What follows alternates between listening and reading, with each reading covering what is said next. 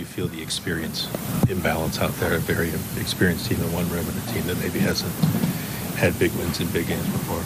Um, I feel like we've we played a pretty complete game other than the eight minutes there at the start of the third. They came pretty hard, so uh, it's something we got to learn as a group to play, try to play a full game, especially when you're going against a team going for a deep playoff run and Yeah. trying to get in there with all the points matter for them. So it's something we got to learn from and be better next time. What was the first five, six minutes like in the third period? Just that way. Uh, yeah, they were rolling over. We knew we had to play on our toes, and they just kept coming, and uh, we didn't have an answer for them in that first thing. And then we settled down and got into our game and pushed it to overtime.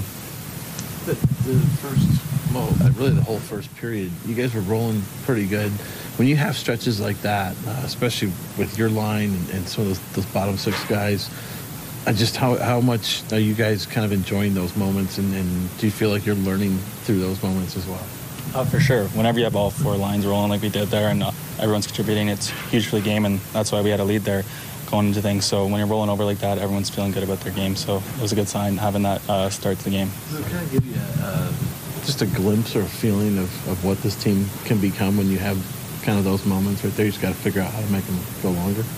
Uh, yeah, for sure. Like I said, we played a pretty good game against a really good team tonight, and other than fir- the start of the third period there, um, eight, ten minutes, they came rolling over, and that's something we got to learn from. Liam, how, that, that early goal in the third, how how much did that weigh on your minds in terms of you know that's that's the last thing you wanted to have happen. Uh, yeah, you obviously never want to give up an early goal in a period, and then uh, for them to just keep coming, that gave them big momentum. Their fans were behind them, and uh, we just didn't have an answer for them at the start. And then we settled into our, our game, and we, uh, like I said, we did pretty well at the end there to push it to overtime.